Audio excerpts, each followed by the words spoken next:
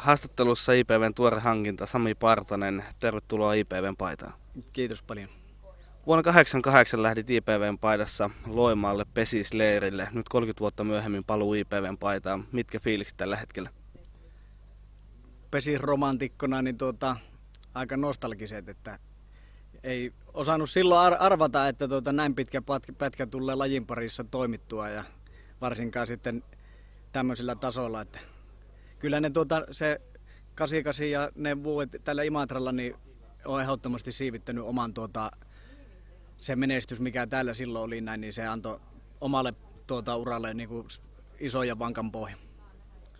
Urasta suurin osa ajasta mennyt tuolla Kiteen suunnilla. Välillä käväsit Kouvolassa, mutta nyt taas pitkä pätkä Kiteellä. Niin mikä sai miehen tulemaan IPVn paitaan? No yksittäinen syy varmasti niin on Valkeapään Jani, että sen tinkimätön työ täällä, mitä se on tehnyt seurassa.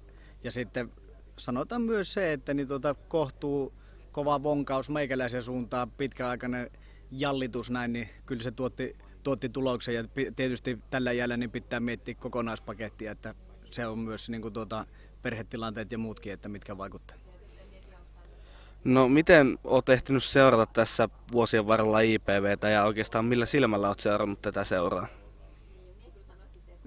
No Janin kautta tietysti tätä on tullut seurattua paljonkin ja se koko seuran tilanne sieltä 88, niin sehän on ihan sel- selkeä niin kuin ollut mitä, mitä on tuota, kattonut, että välillä haikein mieli ja nyt tietysti viime vuosina Imatra on kulkenut ihan koko lajin etu, etujoukoissa, että se mitä on tehty olosuhteiden puolesta ja sitten nämä kaikki urheilulliset tapahtumat ja muut, niin nehän on ihan, ihan tuota kär, kärkiluokkaa ja sitten nyt tähän urheilulliseen puoleen tietysti niin on omalta osaltani niin haluan tuoda muutoksen.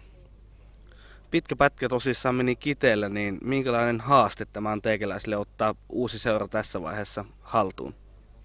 Ehdottomasti haaste, se on selvää, että tuota, noin pitkään kun on yhdessä paikassa, niin tunnesiteet on vahva, vahvat sinne. Ja, mutta se, että sitten taas tämä käännettynä toisinperin, niin meidän lajissa ei ole oikeastaan mahdollista lähteä NHL tai ehtiä niitä toisia juttuja, että mistä saapi sitä kipinä ja motivaatiota, niin se on ehdottomasti seurasiirrot ja omalla kohdalla ne on tullut tasaisin väliajoin ja epäilisin, että en olisi näin pitkään pelannut superpesistä, jos en olisi välillä käynyt muualla kuin Kittel.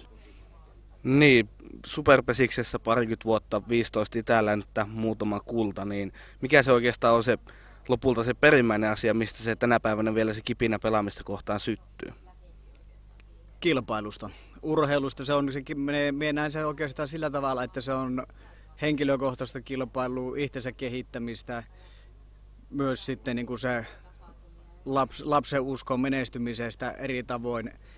Siellä pystyy luomaan erilaisia näkemyksiä, tavoitteita itselle ja joukkueen sisällä. Että kyllä se, niin kuin, ja se tietysti pesäpallo tykkään kohtuullisen paljon tästä lajista, että tuota, se, e, ehkä tässä olisi jo keksinyt jotain muuta, jos tämä ei olisi enää hauska. Viime kaudella tilastollisesti pelasit urasi parhaan kauden. Olit johtavassa roolissa Kiteellä ja joukkueena pääsitte pudotuspeleihin, jossa puolivälierissä haastoitte ajoittain finaaleissa pelaavaa Kouvolaa hyvin, niin näin tuoreeltaan, minkälaisena itse näet tuon kauden? Tasapainoinen kaus. Meidän tavoitteet oli mitalipeleissä. Se ei toteutunut, olkoonkin jo Kouvolalta turpaa, että se on nyt finaalissa, että se on selvä homma, että niinku ei huonolle joukkueelle hävitty, mutta se, että niinku, se jäi vähän piippuun myös siellä, että niinku halu oli mennä niinku eteenpäin. Oma rooli tietysti niin on ollut viime vuodet hyvin selkeä, että pitää olla tuota, joukkueen suunnannäyttäjä siellä ja uskon myös, että niin, tuota, sama homma niin tulee olemaan myös täällä Imatra. Kauden alku on vielä pitkä aika, mutta tälle ensi alkuun, niin minkälaiset tavoitteet on ensi kaudella IPVn paidassa? No se yleisilme ja se urheilupuoli pitää, pitää saada menemään eteenpäin, se on niin kuin selkeä homma. Tietysti tässä on paljon vielä joukkueellisesti ja valmennuksellisesti ja kysymysmerkkejä tai muuta, mutta se, että koko lajin tuota, huhuihin, jos on uskominen, niin siellä tulee tapahtumaan myös kärkiseuroissa liikehdintä ja muuta ja siinä kilpailussa sitten niin kuin tuota, pitää olla niin kuin mukana urheilullisesti, että mennään niin kuin selkeästi eteenpäin. IPVlläkään kaikkia sopimuksia ei ole vielä tehty tai julkistettu, mutta mitä ajatuksia tuo tämän hetken joukkue sinussa herättää? Siinä on sopiva miksi. Se, että tietysti Jere ja Mieni tuo sitä tuota, toisenlaista kokemusta, mutta että nuoret jätkät, niin siellä on hirmuinen voimavaraa niin kuin mennä vuoteen eteenpäin ja uskon, että niin kuin sitä kautta tulee steppejä ja toivon mukaan niin siellä tuota, moni, moni jätkä niin on minusta ja Jerestä parempi. Kiitos haastattelusta Sami. Kiitos.